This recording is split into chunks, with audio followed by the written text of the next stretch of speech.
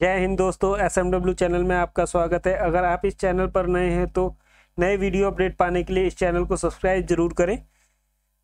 तो चलिए शुरू करते हैं आज का वीडियो। आज का वीडियो है जो गवर्नमेंट एक बिल लेकर के आने वाली है शीतकालीन सत्र में क्रिप्टो करेंसी के ऊपर। जो प्राइवेट क्रिप्टो करेंसी है, उसको पूरी तरह से या फिर पार्शली इसको बैन किया जाएगा। इसके ऊपर बात करेंगे।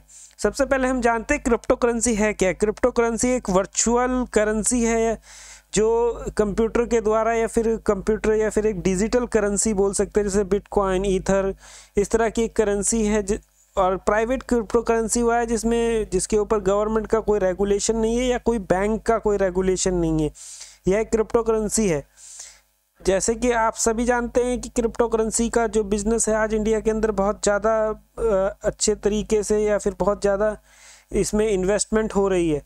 लेकिन प्रॉब्लम ये है कि इसका जो एक कोई रेगुलेशन नहीं है तो इसके ऊपर गवर्नमेंट रेगुलेशन लाने की तैयारी में है और रेगुलेशन अच्छा है रेगुलेशन होना चाहिए, क्योंकि कल को अगर कोई प्रॉब्लम क्रिएट होती है तो प्रॉब्लम के लिए फिर बाद में गवर्नमेंट को ही आरोप लगाए जाएँगे कि गवर्नमेंट अभी तक इसके ऊपर कोई रेगुलेशन नहीं लेके आई। अब लोगों का पैसा डूबना शुरू होगा या फिर कोई फ्रॉड हो जाएगा तो इसके ऊपर गवर्नमेंट को ही ब्लेम किया जाएगा। इससे पहले ही गवर्नमेंट काफ़ी अच्छा डिसीज़न है।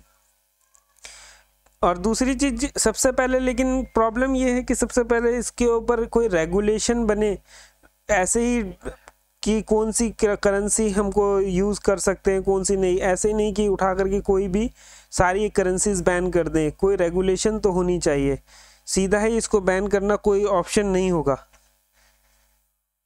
ऐसे ही अब बात करते हैं कि इसको पूरी तरह से प्रतिबंध किया जा सकता है। ये थोड़ा सा मुश्किल है क्योंकि आज इंडिया के ही अंदर लगभग 10 करोड़ यूज़र्स जो हैं इसको बाय और सेल करते हैं मतलब इन्वेस्टमेंट किए हुए हैं। और इसका एक, मैं आपको एक डेटा बताता हूँ, जो इंडिया के अंदर, जो जिन्होंने इन्वेस्टमेंट किया है सिक्सटी टू परसेंट ऐसे लोग हैं, जिन्होंने सबसे पहला इन्वेस्टमेंट ही क्रिप्टो करेंसीज में किया हुआ है। अब आप अंदाज़ा लगाइए कितना बड़ा इसका चेन है।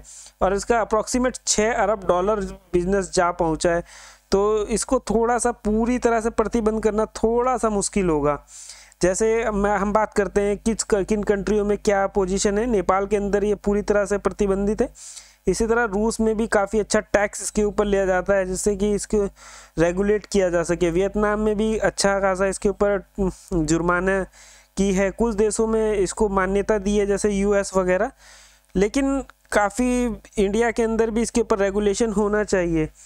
अब बात करते हैं कि इसमें कितने लोग लगभग प्रभावित होंगे? दस करोड़ के अराउंड इसके ऊपर, इसके अंदर थोड़ा सा पैनिक सिचुएशन में है तो वो दस करोड़ लोग इसके ऊपर सीधा सा इन, उन लोगों के ऊपर प्रभाव पड़ेगा। ऐसे ही हम बात करते हैं कि इसको किस तरह से रेगुलेट करेगी गवर्नमेंट ऐसा हो सकता है कि पूरी तरह से प्रतिबंध ना करके इसको जैसे कि हम लेन देन के रूप में इसको प्रयोग ना किया जा सके और एसेट्स के रूप में भी इसको प्रयोग ना किया जा सके, इस तरह से ही गवर्नमेंट इसको रेगुलेट करेगी। तो पूरी तरह इसको बैन तो नहीं किया जाएगा शायद। तो इसके ऊपर जो थोड़ा सा काम करना अभी बाकी है।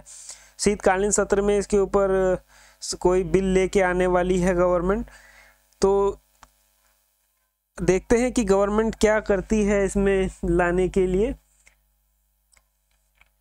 थैंक्स फॉर वॉचिंग और प्लीज़ सब्सक्राइब चैनल और नई अपडेट पाने के लिए। और लाइक और शेयर ज़रूर करें अपनी ये वीडियो अपडेट अपने दोस्तों तक पहुँचाने के लिए। थैंक यू धन्यवाद।